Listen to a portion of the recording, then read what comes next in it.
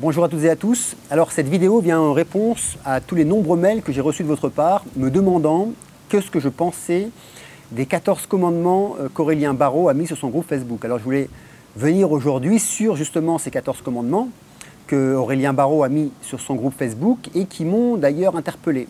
Alors que d'habitude je trouve ces arguments réfléchis avec un soupçon de rébellion qui fait d'ailleurs son charme, son texte là me paraît tout droit sorti d'un état émotionnel profond qu'il n'a pas su gérer. Une sorte de, je pourrais employer ça, de, de colère douce avec des mots écrits avec beaucoup trop d'émoi. Son message qui s'adresse uniquement à ceux et celles qui ont décidé de lutter contre une forme de dictature imposée, calfeutrée par la crise du Covid-19, et qui se refusent le port du masque ou toute autre loi active ou à venir allant à l'encontre des droits individuels. Ainsi, dès le début de son message, il participe aussi à la division, ce qui, de mon point de vue, n'est pas très adroit venant de la part d'un scientifique qui a quand même tout de même une belle audience. Donc, Aurélien, je me permets en tant que citoyen de revisiter tes 14 commandements et de voir ceux qui ont du sens, c'est-à-dire ceux qui sont issus d'une réflexion et d'une analyse posée, prenant en compte les faits, les chiffres, mais aussi l'analyse au-delà des gestes citoyens à accomplir et qui ont toute somme un impact psychologique à ne pas négliger. Autre point, sache que je t'apprécie en tant que personnage et homme de science. J'apprécie ta justesse des mots et que cette vidéo ne t'attaque en rien. Je ne me penche juste sur les idées que tu as énoncées au grand public. Toute idée étant sujet à discussion sans pour autant avoir du mépris pour celui ou celle qui les a émises. Voilà, comme ça c'est dit. Si un jour tu passes à Bali, ce sera avec plaisir d'aller déjeuner ensemble dans un excellent restaurant vegan ou d'aller boire un jus de légumes en bord de mer et puis pouvoir échanger sur euh, différents sujets qui nous passionnent. Donc sans plus attendre, voici ta liste d'injonctions ou de rappels à l'ordre et voici mes retours afin non pas de dire qui a juste ou pas, mais d'apporter plus de nuances dans les propos que tu as écrits et de laisser libre droit à chacun de faire ses choix et ses analyses.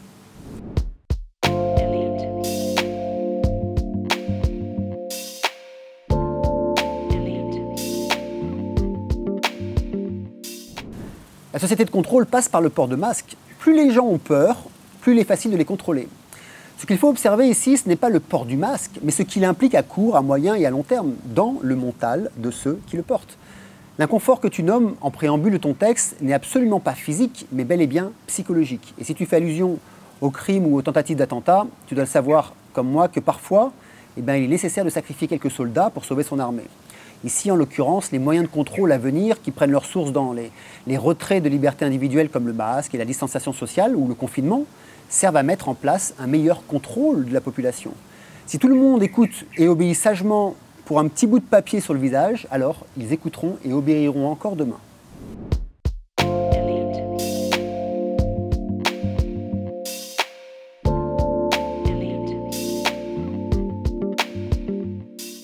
Tu as raison, car tu mets en évidence l'incohérence humaine. Et là, je te rejoins.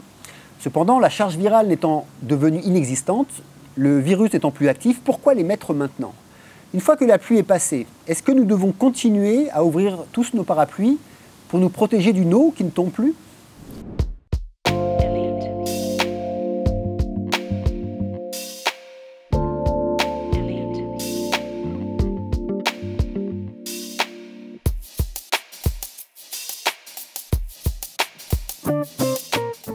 Bien sûr, si on ne regarde que l'objet seul, c'est-à-dire le port du masque, qui ne représente qu'une syntaxe dans un grand algorithme, alors oui, le masque n'enrichira personne.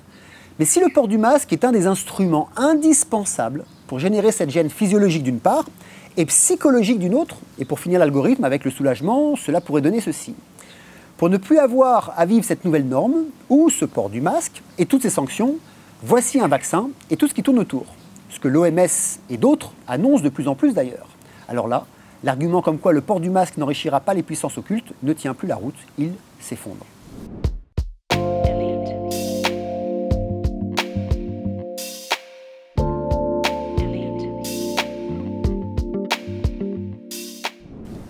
Tu dis que le masque protège du virus. C'est parfait. Mais alors, pourquoi devoir continuer avec la distance sociale? Si le masque protège, ne pouvons-nous pas nous rapprocher les uns des autres?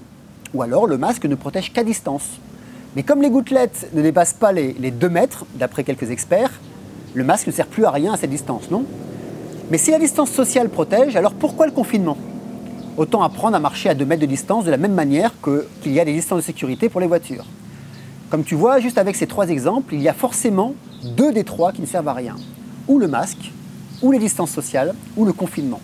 Alors la question est, pourquoi des règles inutiles en nombre existent-elles alors qu'une seule suffirait? Soit tout le monde masqué, mais vous vivez comme vous voulez, soit tout le monde à distance de 2 mètres, ou soit tout le monde chez soi. Mais il y a aussi, comme les pays qui affichent le plus bas de nombre de cas et de décès, vivez normalement et créons une immunité collective. Mais ça, c'est pas au programme car ça ne rapporte pas grand-chose.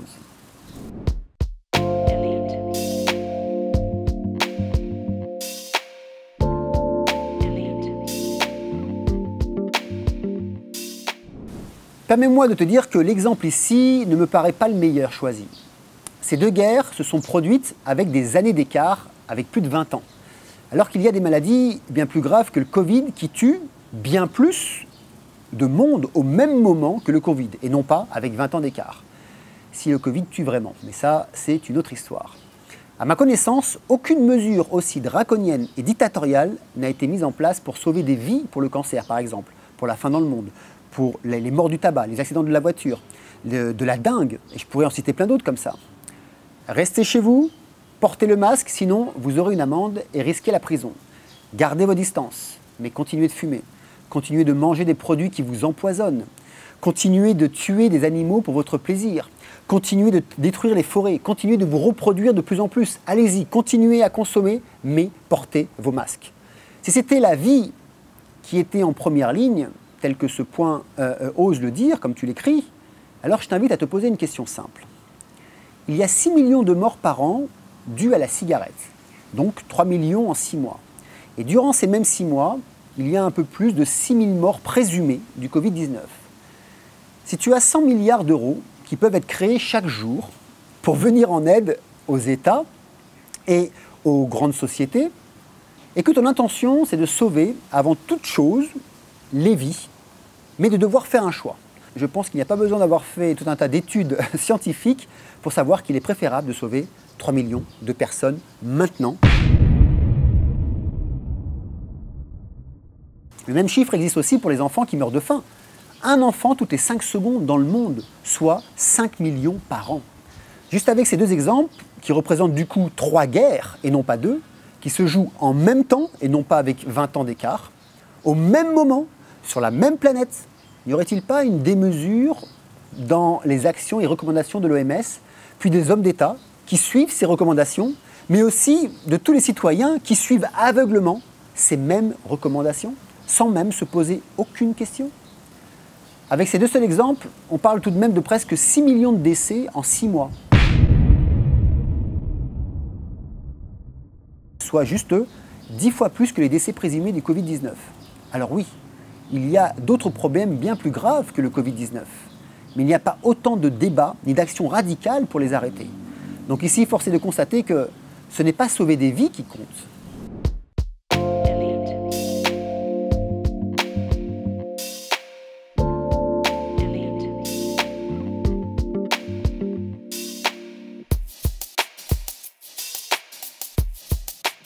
Non, nous entretuer ne fragiliserait pas le pouvoir en place il le renforcerait. En quoi ne pas mettre de masque mettrait-il en danger ceux qui en portent si le masque protège vraiment? Madame Liberté individuelle dirait ceci. Ceux qui veulent le porter le portent, et ceux qui ne veulent pas le porter ne le portent pas. De toute manière, il n'y a aucun danger. Car si vous êtes contaminé et que vous parlez à une personne masquée, celle-ci ne pourra le contracter le virus car elle est masquée, donc protégée. Il y a soit une incohérence ou un mensonge vis-à-vis de la sécurité autour du masque. Soit ces ordres vont bien au-delà de la liberté de chacun, à savoir quoi faire du temps de vie qu'il m'est imparti. Chacun n'a-t-il pas le droit de, de choisir s'il veut mourir du Covid-19 ou pas? Tant que les autres sont protégés, à condition qu'il y ait quelque chose à protéger ou que le masque soit une vraie protection, alors ma liberté de choisir de porter un masque ou pas ne vient pas entraver la liberté d'autrui. Qu'en penses-tu?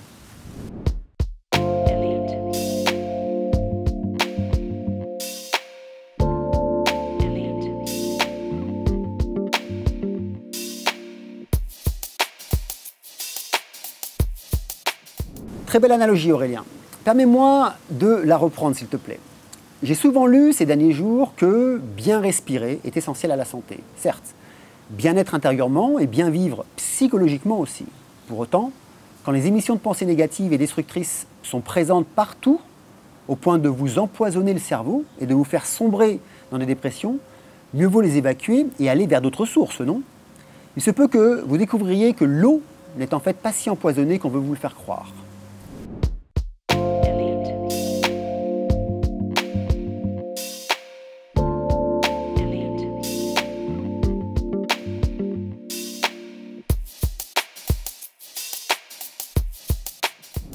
Je t'invite à aller écouter justement des experts, des vrais, ceux qui ne sont pas payés pour se taire ou dire ce qu'ils savent.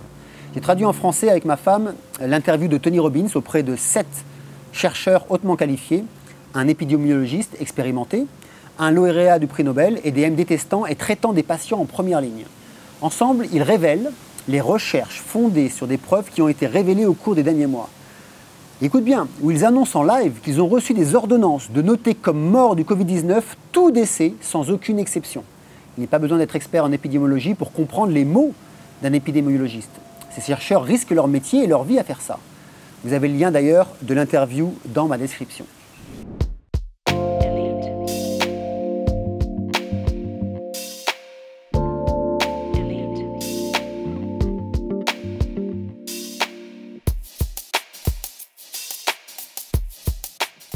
J'ai déjà répondu sur ce point, comme quoi, si un masque protège, s'il protège vraiment, alors tout le monde n'a pas besoin d'être masqué. Seuls ceux qui souhaitent se préserver ou ceux qui ont peur n'ont qu'à le faire, et s'il n'y a plus de problème avec la santé d'autrui, mais un réel respect de la liberté de chacun, qui, soit dit en passant, n'est absolument pas respecté. C'est ici qu'il y a un contresens radical.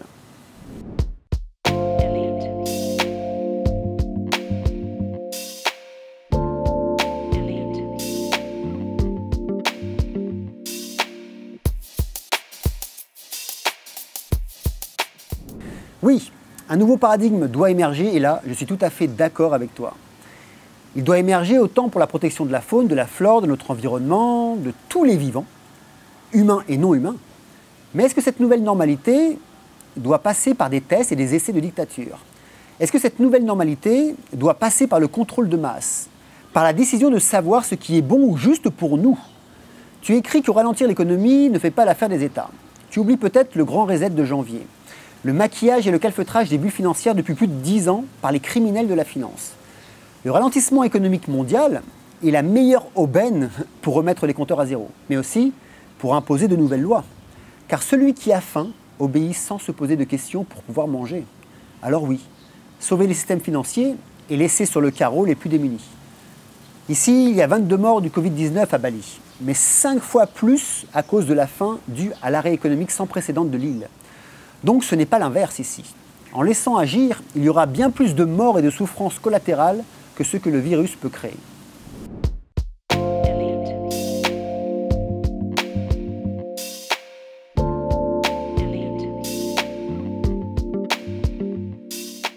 Tirer dans quel tas? Tirer dans le tas de quoi ou de qui? De manière très simple, il y a le feu, et nous devons tous passer dans cette zone. Il y a à disposition des tenues anti-feu le feu brûle le corps, ok? Ça c'est un fait avéré et 100% démontrable.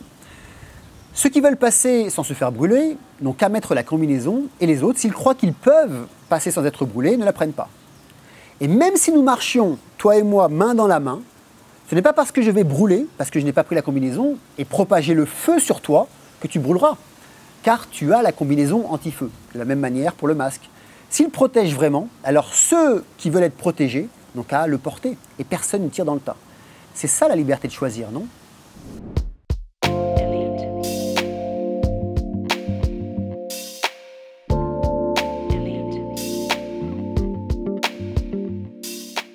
Alors là, tu touches un sujet sensible. Étant toi-même scientifique, tu es bien placé pour savoir que toute thèse a une antithèse et que toute nouvelle découverte d'une thèse préétablie peut rendre la précédente caduque. Ce qui revient à dire que nous pouvons vivre et coexister sur des fondements totalement faux, mais auxquels nous avons donné notre croyance pendant des années. En gros, vivre dans une illusion, par erreur, ou créer de toutes pièces. C'est bien ce qui se joue auprès des scientifiques du monde entier. Certains aujourd'hui affirment qu'on ne meurt pas du Covid-19, mais avec le Covid-19. Certains affirment que le réel taux de mortalité n'excéderait pas les 0,5%. Est-ce nier les vérités médicales que d'écouter un chercheur plutôt qu'un autre? Est-ce un geste d'égoïsme que de donner son accord à des experts qui nous disent attention, danger, le virus n'est pas ce que l'on veut vous faire croire? Qui sont les bons experts? Qui sont les mauvais? Ne serait-ce pas un geste d'égoïsme assumé qui prend la forme exacerbée de l'individualisme dominant du monde contemporain que de donner son accord à des experts qui tentent de nous faire croire que le virus est un danger, qu'il est toujours en activité et qu'il est de plus en plus mortel, tuant ainsi plus de personnes par ignorance que par la maladie, alors que toutes les courbes statistiques montrent le contraire Je me fais l'avocat du diable, mais la question reste ouverte.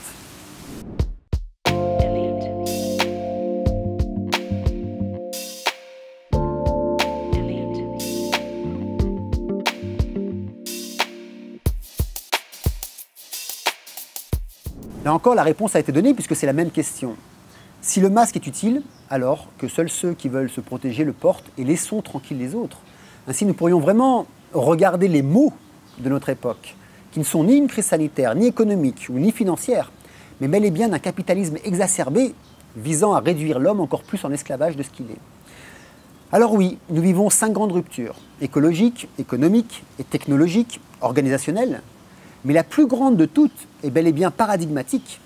La question qui serait bon de se poser ici, c'est pourquoi la vie et la mort des individus, là maintenant, est-elle devenue subitement si importante qu'elle est devenue une affaire d'État Comme si ça n'existait pas avant et que le Covid a rappelé à nos chers gouvernements que la vie était sacrée et qu'ils allaient dès à présent mettre tout en œuvre pour le maintien de la vie avec un grand L avant tout autre projet politique ou économique. Permettez-moi tout de même d'en douter.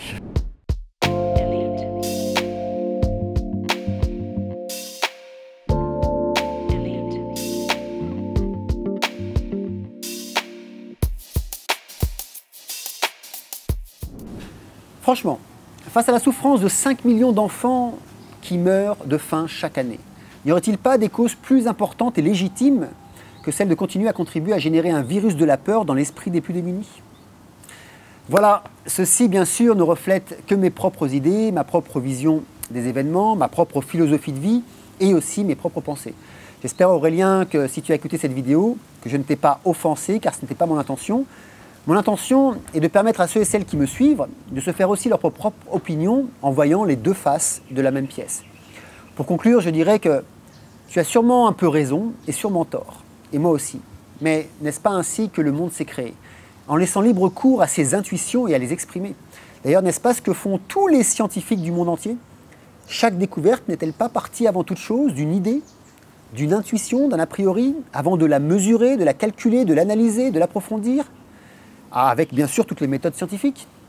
Et oui, même les plus grands scientifiques sont spirituels et philosophes avant même d'être des scientifiques car leur point de départ est un acte profondément spirituel, celui de prendre position sur une intuition. Et c'est sur ces mots que je terminerai car s'il y a vraiment une rupture à ne surtout pas oublier, c'est bien cette rupture paradigmatique que nous vivons. Nous ne vivrons pas d'effondrement systémique, non, nous arrivons à sa fin.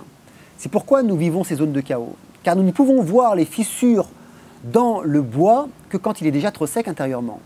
Mais à ce moment-là, il est déjà trop tard quand ça arrive. C'est pourquoi nous voyons maintenant toutes les ruptures et les, les, craquellements euh, autour de nous, que ce soit sur le plan économique, sur, le plan écologique, sur le plan systémique, sur le, plan organisationnel, sur les plans sociaux. Ça casse de partout. Nous pouvons le voir parce que nous arrivons à leur fin. De la même manière que j'ai fini mon webinaire à ce sujet samedi dernier, dans un espace chaotique, il n'y a que deux issues. Ou ça s'effondre, ou il y a une émergence. Alors faisons en sorte que cela émerge vers un meilleur humain et surtout un meilleur siècle que ce désastreux XXe siècle dont nous sommes toutes et tous responsables à 100%. En attendant, vivez, retirez vos masques, respirez la vie, car nous sommes ici depuis plus de 2,5 millions d'années et nous sommes toujours vivants, non? Alors, sans prendre trop de risques, je peux affirmer que nous sommes ultra résilients face à des maladies naturelles, mais beaucoup moins face à l'ignorance et au conditionnement.